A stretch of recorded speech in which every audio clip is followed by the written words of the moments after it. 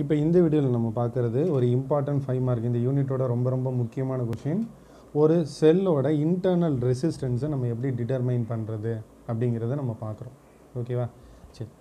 இப்போ நான் சொன்னேன் இஎம்எஃப் பொட்டன்ஷியல் வோல்டேஜ் இது ரெண்டு கடையில் இருக்கிற டிஃப்ரென்ஸ் நம்மளுக்கு தெரியும்.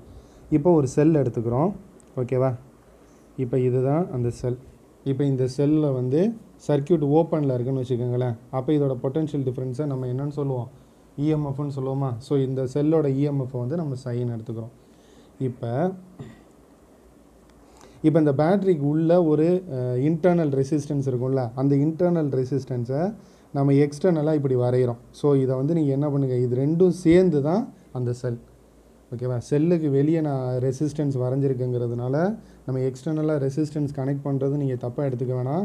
இது வந்து என்னது? செல்லுக்கு உள்ளே இருக்கிற ரெசிஸ்டன்ஸ் அதை நம்ம வந்து அப்படி உள்ளே வரைய முடியாது அப்படிங்கிறதுனால இப்போ நான் வெளியே வரைஞ்சிருக்கேன். நம்ம புக்லேயும் இது இப்படி தான் இருக்குது ஓகேவா இப்போ இந்த செல்லை ஒன்றும் இல்லை ஒரு வோல்ட் மீட்டரோட நம்ம கனெக்ட் பண்ணியிருக்கோம். அவ்வளோதான் இதை நம்ம என்ன பண்ணியிருக்கோம்? ஒரு வோல்ட் மீட்டரோட கனெக்ட் பண்ணியிருக்கோம். சரி இந்த செல்லோட வேறு எதையும் நம்ம கனெக்ட் பண்ண கிடையாது. ஒரு செல்லோட ரெண்டு டெர்மினல் எடுத்து வோல்ட் மீட்டரோட பாசிட்டிவ் நெகட்டிவ் எண்டில் கொடுத்துருக்கோம். அப்படின்னா என்ன அர்த்தம்? இப்போ இந்த செல் வந்து ஓப்பனில் தான் இருக்குது இந்த செல்லோட ரெண்டு டெர்மினல்ஸுக்கு இடையில் எவ்வளவு பொட்டன்ஷியல் டிஃப்ரென்ஸ் இருக்கோ அந்த பொட்டன்ஷியல் டிஃப்ரென்ஸ் தான் என்னது? இஎம்எஃப் ஓகேவா ஏன்னா இதில் வேறு எதையாவது நம்ம கனெக்ட் பண்ணியிருந்தா தான் வேறு ஏதாவது ஒரு ரெசிஸ்டரோ அல்லது பல்பு எதையாவது கனெக்ட் பண்ணியிருந்தா தான் இங்கே சர்க்யூட் க்ளோஸ் இங்கே என்ன இருக்குது வெறும் பேட்ரி மட்டும்தான் இருக்குது வெறும் செல்லு மட்டும்தான் இருக்குது அந்த செல்லை நம்ம வோல்ட் மீட்டரோட கனெக்ட் பண்ணியிருக்கோம். அப்போ அங்கே இருக்கிற வோல்டேஜ் எவ்வளோங்கிறத மெஷர் பண்ணுறதுக்கு ஓகேவா அப்போ இந்த கேஸில் சர்க்யூட் வந்து என்னது? ஓப்பன் அப்போ வோல்ட் மீட்டரில் நம்மளுக்கு காட்டுற ரீடிங் வந்து என்னது? அதோட இஎம்எஃப் தான். அப்போ வோல்ட் மீட்டரில் நம்மளுக்கு காட்டுற ரீடிங் அதோட அந்த செல்லோட இஎம்எஃப்பை நம்மளுக்கு சொல்லுது. ஓகேவா சரி அப்போ நம்மளுக்கு ஒரு டவுட் வரும். அப்போ இந்த வோல்ட் மீட்டர் நம்ம கனெக்ட் பண்ணியிருக்கிறப்ப அந்த வோல்ட் மீட்டர் சம் கரண்ட்டை எடுத்துக்கும் தானே? அது ஒர்க் பண்ணுறதுக்கு அப்படின்னு நம்மளுக்கு ஒரு டவுட் வரும். ஆமாம் எடுத்துக்கும் அது வந்து மினிமம் கரண்ட்டு தான். வோல்ட் மீட்டர் ஒர்க் பண்ணுறதுக்கு some minimum amount of current இருந்தால் போதும். ஸோ வந்து நம்ம என்ன பண்ண தேவையில்ல? அது வந்து இங்கே சர்க்யூட் க்ளோஸ் நம்ம எடுத்துக்க வேணாம் இங்கே சர்க்யூட் ஓப்பனில் தான் இருக்குது சரியா? அப்போ இந்த வோல்ட் மீட்டரில் காட்டுற ரீடிங் தான் இந்த செல்லோட இஎம்எஃப் சரியா? சரி. இப்போ இதே செல்லை நம்ம என்ன பண்ணுறோம் அப்படின்னா இன்டர்னல் ரெசிஸ்டன்ஸோடு இருக்கிறது. அப்போ இந்த இன்டர்னல் ரெசிஸ்டன்ஸ் ஆர் ஓகேவா இப்போ இதே செல்லை நம்ம என்ன பண்ணுறோம் அப்படின்னா ஒரு எக்ஸ்டர்னல் ரெசிஸ்டன்ஸ் ஆர் கூட கனெக்ட் பண்ணுறோம் ஓகேவா? அப்போ இந்த ரெசிஸ்டன்ஸோட ரெண்டு எண்டுக்கு இடையில் எவ்வளவு பொட்டென்ஷியல் டிஃப்ரென்ஸ் இருக்குங்கிறத கண்டுபிடிக்க அந்த அதுக்கு பேரலாக நம்ம என்ன பண்ணுறோம் ஒரு வோல்ட் மீட்டரை கனெக்ட் பண்ணுறோம் ஒரு விஷயம் நல்லா ஞாபகம் வச்சுக்கோங்க. வோல்ட் மீட்டரை எப்போவுமே ஒரு சர்க்யூட்டுக்கு பேரலாக தான் கனெக்ட் பண்ணோம். ஓகேவா? அம்மீட்டரை சீரியஸில் கனெக்ட் பண்ணோம். அது நீங்கள் பின்னாடி நீங்கள் பார்ப்பீங்க. அப்போ உங்களுக்கு புரியும். அப்போ இங்கே ஒரு வோல்ட் மீட்டரை நம்ம இந்த ரெசிஸ்டருக்கு பேரலாக கனெக்ட் பண்ணியிருக்கோம். இப்போ இங்கே நல்லா கவனிங்க. இந்த செல்லோட கனெக்ட் பண்ணியிருக்க அடிஷ்னலாக கனெக்ட் பண்ணியிருக்க. ஒன்றே ஒன்று என்னது? இந்த ரெசிஸ்டர் மட்டும்தான். அப்போ இந்த ரெசிஸ்டரோட ரெண்டு எண்டுக்கும் இடையில எவ்வளவு பொட்டென்ஷியல் டிஃப்ரென்ஸ் இருக்கோ அந்த பொட்டென்ஷியல் டிஃப்ரென்ஸ் தான் என்னது? வோல்டேஜ் ஆமாவா இல்லையா? நம்மளுக்கு தெரியும் தானே நம்ம அந்த ரெசிஸ்டர் இன் சீரீஸ் பேரலெல்லாம் நம்ம படிச்சிருப்போம்.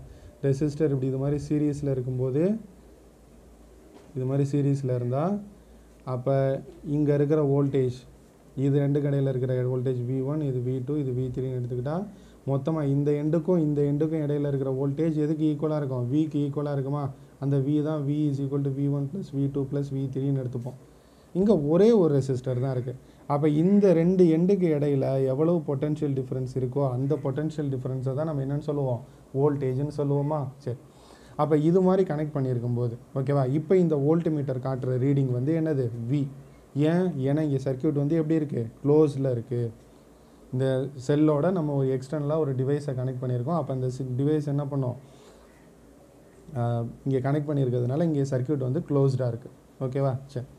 இப்போ இப்போ நம்மளுக்கு கிடைக்கிற ரீடிங் வோல்ட் மீட்டரில் கிடைக்கிற ரீடிங் வந்து என்னது?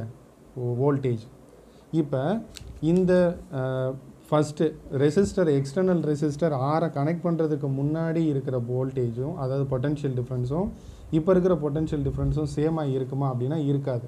ஏன் அப்படின்னா இந்த வியோட வேல்யூ எப்போவுமே கம்மியாக தான் இருக்கும். இஎம்எஃப்பை விட அது கம்மியாக தான் இருக்கும். அதுக்கு காரணம் அந்த செல்லோட இன்டர்னல் ரெசிஸ்டன்ஸ் அந்த செல்லோட இன்டர்னல் ரெசிஸ்டன்ஸ் இங்கே என்ன பண்ணியிருக்கு? சம் வோல்டேஜை ட்ராப் பண்ணியிருக்கு.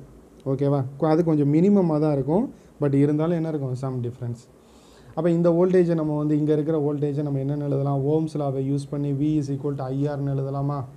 ஓகேவா இப்போ நம்மளுக்கு தெரியும் இந்த வியோட வேல்யூ எப்போவுமே இஎம்எஃப்பை விட கம்மி தான் அப்போ இஎம்எஃப்பை விட ஓகேவா அது எவ்வளோ கம்மியாக இருக்கும் அப்படின்னா V is equal to epsilon minus அப்போ இந்த இடத்துல இருக்கிற வோல்டேஜ் டாப் இந்த இடத்துல இருக்கிற வோல்டேஜ் ட்ராப் வந்து அதாவது இன்டர்னல் ரெசிஸ்டன்ஸுக்கிட்ட சம் வோல்டேஜ் ட்ராப் ஆகுது. அப்படி ட்ராப் ஆகுறதுனால தானே இங்கே வோல்டேஜ் குறையுது.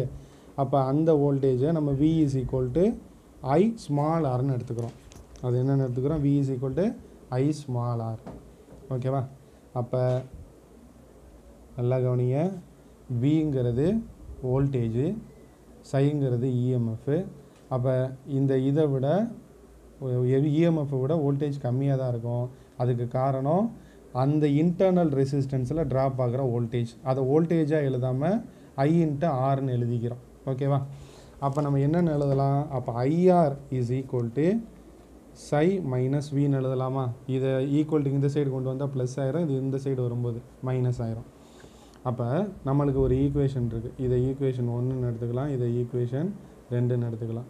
அப்போ ஈக்குவேஷன் ஒன்றையும் ரெண்டையும் நம்ம என்ன பண்ணுறோம் அப்படின்னா டிவைட் பண்ணுறோம் அப்போ நம்மளுக்கு என்ன கிடைக்கும்? IR divided by IR is equal to ஐஆரோட value வந்து என்னது? Psi minus V divided by V அப்போ ரெண்டுலேயும் காமனாக ஐ இரு ஐ இருக்குது அதை கேன்சல் பண்ணிட்டா அப்போ R is equal to psi minus V divided by V into R அப்போ இந்த ஈக்குவேஷனை யூஸ் பண்ணி நம்ம என்ன பண்ணிக்கலாம்? ஒரு செல்லோட இன்டர்னல் ரெசிஸ்டன்ஸ் எவ்வளவு அப்படிங்கிறத நம்ம என்ன பண்ண முடியும்? கால்குலேட் பண்ணிக்கலாம். ஓகேவா அப்போ இந்த